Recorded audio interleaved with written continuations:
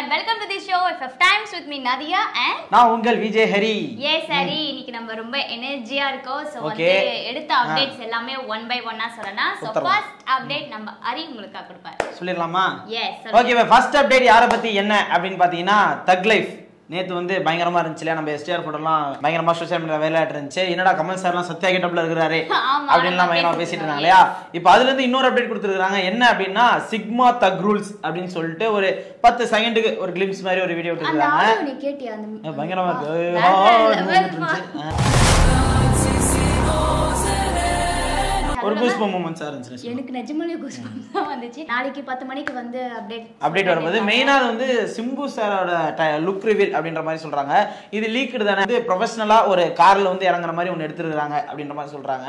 நம்ம சிம்பு சார் வந்து தக் லைஃப்ல நம்ம கமல் சார் கூட நடிச்சு எப்படி பயங்கரமா கலக்க போறாரு அப்படின்றத அடுத்த அப்டேட் யார பத்தி என்ன அப்படின்னு பாத்தீங்கன்னா நம்ம விக்ரம் சார் பத்தி தான். அப்டேட் எடுத்துட்டு வந்திருக்கேன். வீர தீர சூரருக்கு நீ நினைக்கிற மாதிரி வீரதீர சூரன் அந்த படத்துல வந்து அப்டேட் இல்ல. வீரதீரன் சூரன் படத்தோட அப்டேட் தான் நம்ம லைன் பை லைனா கொடுத்துட்டு இருக்கோம் தங்கலான்றதே நம்ம மறந்தே மறந்துட்டோம். ஆமா தங்கலான்னு ஒரு படம் வருதுல நம்ம பாரஞ்சித் அவர்கள் டைரக்ஷன்ல அது மறந்தே மறந்துட்டோம். இப்போ என்னன்னா அந்த படத்துல இருந்தா எனக்கு ஒரு அப்டேட் கிடைச்சிருக்கு. என்ன அப்படின்னா அந்த படத்தை வந்து ஜூன் பதிமூணாம் தேதி ரிலீஸ் பண்ணலாம்னு பிளான் போட்டு வச்சிருக்காங்க. ஓகே செப்டம்பர்ல இருந்து ஜூன் வந்துட்டாங்களா? எஸ் அது மட்டும் இல்லாம ராயன் படம் இருக்குல்ல நம்ம ஆமா. ஆமா.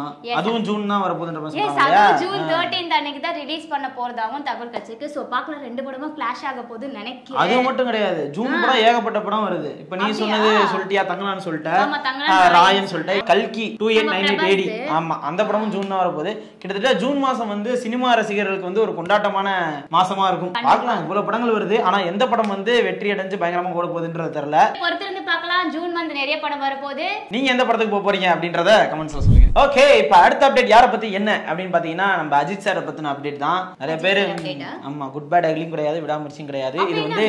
ரீசெண்டா நம்ம விஷ்ணுவர்தன் இருக்காரு இல்லையா? அவர் வந்து இந்த பில்லா ரீ ரிலீஸ்க்கு வந்து நிறைய ப்ரொமோஷன் கொடுத்துட்டு இருந்தாரு. அதுல ஒரு ரீசெண்ட் இன்டர்வியூல என்ன சொல்லிருக்காரு அப்படின்னு பாத்தீங்கன்னா இந்த மாதிரி நான் அஜித் சாருக்கு வந்து ஒரு கதை சொன்னேன். ஒரு பீரியாடிக் ஃபிலிம் அப்படின்ற மாதிரி சொன்னேன். அவர் வந்து ஒரு ராஜாவாகவும் நிறைய போர் சீன்ஸ் எல்லாம் வச்சு நிறைய கதை சொன்னேன். அப்படின்னு செட் ஆகுமா? ஆமா ஏஐல நம்ம அஜித் சார் ரெடி பண்ணி நிறைய போட்டோஸ்ல வச்சிட்டு இருந்தாங்க பத்தியா? ராஜா மாதிரி அப்படின்ற மாதிரி. ஆமா, இப்ப இவரேகே வந்து ஒரு கிங்கோட கதை சொல்லியிருக்காரு அப்படின்ற போது பயங்கரமா இருந்துச்சு. அதுக்கு என்ன சொன்னாரு? ஆ அதுதான் சொல்றேன். இது வந்து அஜித் சார் என்ன கேட்டாருன்னா இது ஒரு ஆயிரத்துல ஒரு மாதிரி வருமா அப்படின்ற மாதிரி கேட்டிருக்கிறாரு. பட் சில பல காரணங்கள்னால அந்த படம் அவரால் பண்ண முடியல அந்த கதையும் நடக்கல அப்படின்ற மாதிரி சொல்லியிருக்கிறாரு.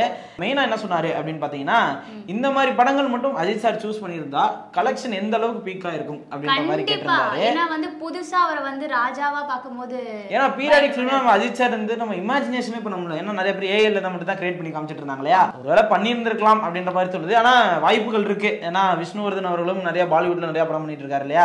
இப்ப ரீசெண்டா நம்ம தமிழுக்கு வந்து இதே கதையை திருப்பி ரீக்ரியேட் பண்ணி பண்ணாருன்னா பயங்கரமா இருக்குன்ற மாதிரி தான் இருக்கு. கரெக்டா இந்த படம் அமைதா இல்லையா அப்படின்றது. பொறுத்து ஓகே அடுத்த அப்டேட் யார பத்தி என்ன அப்படின்னு பார்த்தோம்னா சுந்தர்சி அவர்கள் வந்து ரீசெண்டா ஒரு இன்டர்வியூல ஒன்று சொல்லியிருக்காரு. அரண்மனை ஃபோருக்கு அப்புறம் கலகலப்பு த்ரீ எடுக்கலாம் கலகலப்பு. த்ரீயா என்ன கலகலப்பு த்ரீயா அப்படின்ற கலகலப்பு ஒன்ல வந்து நம்ம சிவாவும் விமலும் அப்பா ஓவியா அஞ்சலி இவங்க பயங்கரமா. கொடுத்திருந்தாங்க. கலகலப்பு டூல வந்து ஜெய் ஜீவா நிக்கி கல்ராணி அப்புறம் சிவா கூட வந்திருந்தாரு. ஆமா ஒரு வில்லன் ரோல் மாதிரியே ஒண்ணு பண்ணி வந்து முடியா இருக்கும். ஒன்லயும் டூலயும் வந்தாரு. இப்ப அடுத்தது என்ன அப்படின்னு பார்த்தோம்னா இந்த படத்தை வந்து கண்டிப்பா விமலும் சிவாவும் இருப்பாங்க. அந்த ஃபர்ஸ்ட் காம்போவே திருப்பி எடுத்துட்டு வராரா? இருப்பாங்கன்னு. சொல்லி அவர் அந்த இன்டர்வியூ சொல்லியிருக்காரு. இன்னும் நிறைய காஸ்ட் வந்து ரிவ்யூ பண்ணிட்டு இருக்கோம். சோ பார்க்கலாம். அரண்மனை ஃபோர் இப்பதான் முடிஞ்சு தியேட்டர்ல ரிலீஸ் ஆகி நல்லா ஹிட் கொடுத்துட்டு இருக்கு. சோ கலகலப்பு த்ரீ எடுக்கிறாரா அப்படின்றத பொறுத்திருந்து மெயினா அரண்மனை ஃபோர்ல இருந்து அச்சோ சாங் இன்னைக்கு ரிலீஸ் ஆயிருக்கு. பார்க்காதவங்க பாத்துக்கோங்க நினைச்ச நீ சொல்லுவேன். ஓகே பொறுத்திருந்து பார்க்கலாம். கலகலப்பு த்ரீ வருதா அப்படின்றது. ஓகே இப்போ அடுத்த அப்டேட் யாரை பத்தி என்ன அப்படின்னு பாத்தீங்கன்னா ஏற்கனவே ராயன் வந்து ஜூன் தேர்ட்டின் ரிலீஸ் ஆக போகுது அப்படின்னு சொல்லியிருந்தாங்க இல்லையா. இப்போ ரீசெண்டாக அந்த போஸ்டர்லாம் விட்டுருந்தாங்க. மே நைன் வந்து ஃபர்ஸ்ட் சிங்கிள் வரப்போகுது அப்படின்ட்டு. மெயின் அந்த போஸ்டர் நோட் பண்ணீங்களா? பின்னாடி ராவணன் அந்த இது வச்சு பயங்கரமா அந்த ஃபயர் ஒர்க்ஸ்லாம் பயங்கரமா போயிட்டு இருக்கு. இதுல வந்து என்ன வில்லன் ரோலா இல்லை என்ன பண்ண போறாரு அப்படின்றது தெரியல. இன்னைக்கு சந்தீப் கிஷன் அவங்களோட பர்த்டே ஓ ஓகே ஓகே ஆமா இதை முன்னிட்டு கூட அவங்க ஏதாவது அப்டேட் இன்னைக்கு கூட போறாங்களா அப்படின்றது தெரியல. ஆமா ஏன்னா குபேரா வந்து ஃபர்ஸ்ட் ரிலீஸ் ஆக போகுது அப்படின்னு சொல்லிட்டு இருந்தாங்க. கடைசியில வந்து ராயன் தான் முன்னாடி வர போகுதுன்ற மாதிரி இருக்கு. நம்மளே குழப்புறாங்கப்பா. ஆமா ராயன் ராயனா ராகு குபேராவா? பேரா இன்னும் அவரோட ரெண்டு டைரக்ஷன் இருக்கு. ராயன் அவர் டைரக்ஷன் தான். நிலவுக்கு என் மேல் நடிக்கவும் இருக்கு. இன்னும் நிறைய படங்கள் வச்சிருக்காரு பட் ராயன் மிகப்பெரிய ஒரு எதிர்பார்ப்பான படம். அவரோட ஐம்பதாவது படமா. வரப்போகுது. ராயன் ஃபர்ஸ்ட் சிங்கிள் எப்படி இருக்க போகுது? ஜூன் தேர்ட்டின் ரிலீஸ் ஆகி என்ன மாதிரி மக்கள்கிட்ட ஒரு ரீச் ஆக போகுது அப்படின்றத வெயிட் பண்ணி பார்க்கலாம். ஓகே அடுத்த அப்டேட் யார பத்தி என்ன அப்படின்னு பாத்தீங்கன்னா அதர்வா பத்தி தான். நடிச்சிருக்காங்க அவர் லாஸ்டா நடிச்ச படம் பட்டத்தரசு நல்லா ஹிட் கொடுத்தது. அது தொடர்ந்து டிஎன்ஏன்ற மூவில வந்து அவர் நடிச்சிட்டு இருக்காரு. இன்னைக்கு அந்த படத்தோட ஃபர்ஸ்ட் லுக் போஸ்டர் வந்து ரிலீஸ் பண்ண போறாங்க. ஏன் தெரியுமா? Because today other was birthday. அதை முன்னிட்டு இன்னைக்கு வந்து அஞ்சு மணிக்கு வந்து ஃபர்ஸ்ட் லுக் வந்து ரிலீஸ் பண்ண போறாங்க. இந்த படத்தை யார் டைரக்ஷன் பண்றாங்க அப்படின்னு பார்த்தோன்னா ஒரு நாள் கூத்து. எஸ் நம்ம நெல்சன் வெங்கடேசன் தான் வந்து. டைரக்ட் பண்றாரு. பட்டத்தரசனுக்கு அப்புறம் இந்த படம் நடிக்கிறாரு. இந்த படம் எப்படி இருக்க போகுது அப்படின்றத பார்க்கலாம். ஏன்னா டிஎன்ஏ அப்படின்னும் போது சயின்டிஃபிக்கா இல்ல எனக்கு டிஎன்னா தனுஷ் அண்ட் அனிருத் தான் தெரியும். இல்லாட்டி நம்ம உடம்புக்குள்ள ஒரு டிஎன் தெரியும். இப்போ இந்த டிஎன்ஏ அப்படின்ற போது ஒரு பயாலஜிக்கலான படமா இல்லை வந்து ஒரு டாக்டர் அந்த மாதிரி சம்மந்தப்பட்ட படமா அப்படின்றது தெரில ஃபர்ஸ்ட் லுக் ரிலீஸ் ஆனோடனே அது எப்படி இருக்க போகுது அப்படின்னு பார்த்துட்டு பேசலாம். ஓகே இப்போ அடுத்த அப்டேட் யாரை பத்தி என்ன அப்படின்னு பார்த்தீங்கன்னா இது வந்து இந்த வாரங்கள் என்னென்ன படங்கள் ரிலீஸ் ஆகுது அப்படின்றத நம்ம பார்க்க போறோம். Okay. ரசவாதி அப்படின்னு சொல்லிட்டு ஒரு படம் வருது. யாருன்னா நம்ம அர்ஜுன் தாஸ் அவர்கள் நடிப்புல மௌனகுரு மகாமுனி நடத்தார் இல்லையா சாந்தகுமார் அவரோட டைரக்ஷன்ல வருது. அதுக்கப்புறம் வந்து ஸ்டார் திரைப்படம் வருது. எஸ் நம்ம எல்லாருமே எதிர்பார்த்திருந்த ஒரு ஆமா கவின் அவர்கள் நடிப்பு வந்து பயங்கரமா இருந்துச்சு. அப்புறம் வந்து ரெண்டு ஹீரோயின்ஸ் இருக்கிறாங்க. பயங்கரமா நடிச்சிருக்கிறாங்க.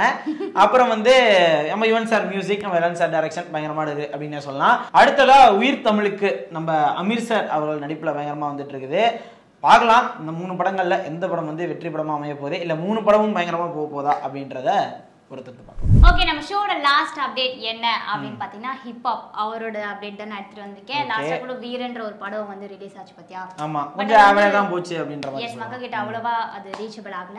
இப்ப அவர் வந்து பிடி சார் அப்படின்ற ஒரு படத்துல நடிக்க போறாரு. சோ இந்த படத்தை யார் டைரக்ஷன் பண்ண போறாங்க அப்படின்னு பாத்தீங்கன்னா கார்த்திக் வேணுகோபாலன் சார் தான் டைரக்ஷன் பண்றாங்க. ஆமா நம்ம நெஞ்சம் உண்டு நெருமி ராஜ் எடுத்தார்ல நம்ம ரியோ ராஜ் வச்சு அவர் தான் அந்த படத்தை சோ இந்த படம் வந்து அந்த போஸ்டர் பார்த்தா எப்படி தெரியுமா இருக்கு? பிடி சார் மாதிரி இருந்தாரு. ஆ பிடி சார் படம் வச்சுட்டு அப்புறம் அந்த கெட்டப்ல எந்த கெட்டப்ல இருப்பாரு ஆ. சோ வந்து ஹிப்ஹாப் வந்து வீரன் கடுத்தது திரும்பியும் இந்த படத்துல வந்து பயங்கரமா என்ட்ரி கொடுத்திருக்காரு. இந்த படத்தை எப்ப ரிலீஸ் பண்ணலாம்னு பிளான் பண்ணிருக்காங்க அப்படின்னு பாத்தீங்கன்னா மே டுவெண்ட்டி ஃபோர் அன்னைக்கு ரிலீஸ் பண்ணலாம் அப்படின்னு வந்து பிளான் போட்டிருக்காங்க ஹரி. இந்த மாசம் கடைசியா?